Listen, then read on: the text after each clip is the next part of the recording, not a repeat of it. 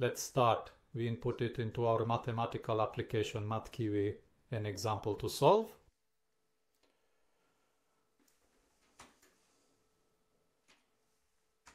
Here at the bottom we have a keyboard that will allow us to enter some limits, things like that.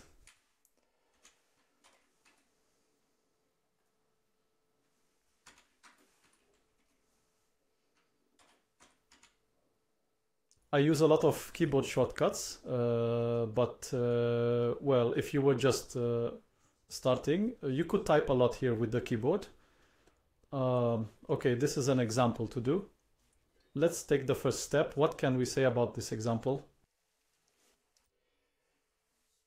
n approaches infinity, so both the numerator and the denominator approach infinity. This is a very typical example, a very typical example of a method I call factoring out the highest power. And I recommend factoring out the highest power in the numerator separately and in the denominator the highest power as it is, factoring it out. This method has many variants, uh, different ones where you divide instead of factoring. You divide the, the numerator and the denominator by the largest power, that is by the largest one that is in the denominator. Uh, there are many different variants here. Essentially, they all boil down to one. I talk more about this in my course. Here, I immediately perform the first step. I factor out the highest power from all these terms in the numerator and the highest power in the denominator. Let's look at the numerator, the top. The greatest power we agree is undoubtedly n to the third, so I factor out n to the third. When I factored out n cubed from this component, this component, and this component, it's necessary to divide these components by n cubed to see what should be here. n cubed divided by n cubed. I write right away that it's 1 plus uh, here, I won't simplify it in my head. I'll write it out. 3n squared divided by n cubed. I won't divide by, uh, I won't divide in my head, only by writing it out.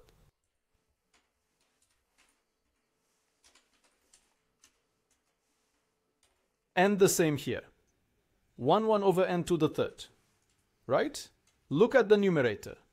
Do you understand how this numerator will transform into that?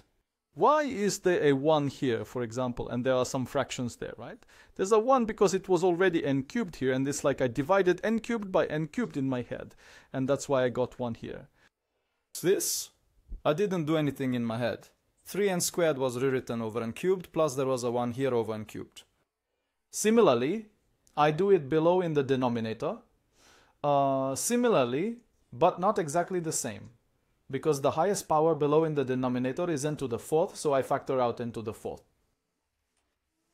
And what will remain here? n to the fourth divided by n to the fourth is 1 plus the second term, 8n squared. 8n squared over n to the fourth. I divide by n to the fourth plus 2. I divide by n to the fourth. Right? Do, do you understand? I didn't do anything here. I just factored out from these three terms on top in the numerator n to the third power. And at the bottom from these three terms, I factored out n to the fourth power, obtaining something like this. And now uh, what happens next? Ah, we can simplify a bit, right? Uh, n to the third and n to the fourth will cancel out. Uh, aha, here. Let's send it to the application. It confirmed it in green. The step is correct, right? By the way if it were incorrect. If I made a mistake somewhere, something would come up in red here. Let's move on. Uh, n cubed and n to the fourth will cancel out. How? On the top, well, there will just be one, right? Uh, maybe I'll even write it down like this. And at the bottom there will be a... It's clear, this simplifying of powers is simple. Somewhere back in previous education classes. Here, n squared and n cubed will cancel out, right? Here will remain n. Here n squared and n to the fourth will cancel out. Here will remain n squared.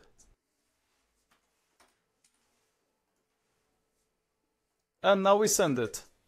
A correct step. Do you understand what happened here? I did nothing, just simplified and cubed. n to the fourth. This is what remains. Here I simplified n squared and cubed. Here n squared n to the fourth. Right? Well, so what? Look at the top. At the top. At the top, I wanted to say. There's a form like, what? Uh, one times something, a bit strange. Uh, well, maybe let's write it down. One times something is just that something, right?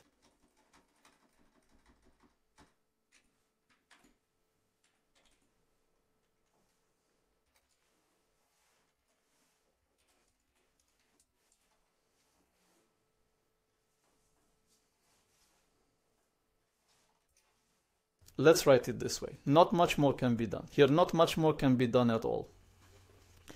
You need to immediately determine what this is aiming for, but how? I showed this in my course on limits, and now I'll just slowly repeat. If in limits we have a situation where there's a constant on top, divided by something that tends towards infinity, imagine that this n tends towards infinity, meaning n is getting bigger and bigger and bigger. Then we have 3 hundredths, 3 thousandths, 3 millions, 3 trillions, 3 quadrillions, and so on and so on further. This fraction, if a constant is divided by infinity, a constant divided by infinity always approaches zero, which means it approaches zero. This also approaches zero. So we have 1 plus uh, 0 plus 0. The top approaches 1, that is a constant. And what about the bottom? 2 0 for the same reasons as above, a constant even if it were huge, very huge, a constant much greater than 8 divided by something going to infinity approaches 0. So here we have 1 plus 0 plus 0. That tends towards 1, but here we also have n going towards infinity. So the whole bottom does not converge to any specific number. On the contrary, we have infinity times 1, which is infinity, so here we have a situation where we have 1 divided by infinity, right? And that tends to 0.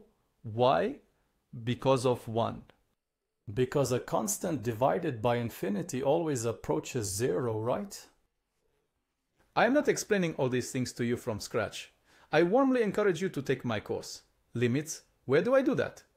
Here, I'm only solving this specific example, and in this specific example, the result will be 0. This limit equals 0.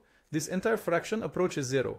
If you were to substitute increasingly larger numbers here, this whole expression would become smaller and smaller, approaching 0. Let's make a mistake for fun, okay? I Here I will write that this equals 1, which is an incorrect result. I repeat, incorrect result. And why will that be funny? Because we will ask our bird kiwi why this is an incorrect result. He will surely come up with something for us, he will help us. Let's just give him time to think.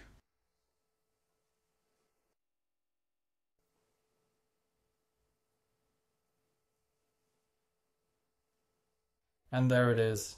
It thought about it. Let's read what it suggests that we wrote that it approaches zero. So a small mistake, right? Uh, actually, he repeated everything that I explained. So all these components approach zero. So when simplified, it would essentially leave 1 over n. And 1 over n also uh, approaches 0, not 1, right? Uh, so let's correct ourselves. And that is the end of the task. It's a very typical popular method of factoring out the highest power. That's what I call it. Thanks. Let's move on to the next example.